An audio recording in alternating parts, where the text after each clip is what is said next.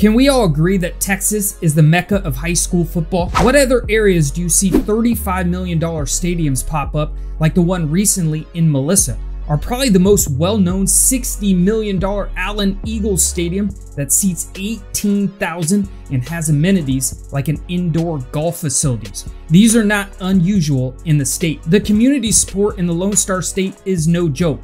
How about 50,000 plus people who show up to watch their state championship games? Or check this out, a powerhouse program in Katy recently did a fundraiser. They raised $94,000. Yep, $94,000 for their football program.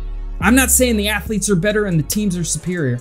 I'm saying if you drew up a perfect picture of what high school football is supposed to look like, head to Texas and watch a game under the Friday night lights.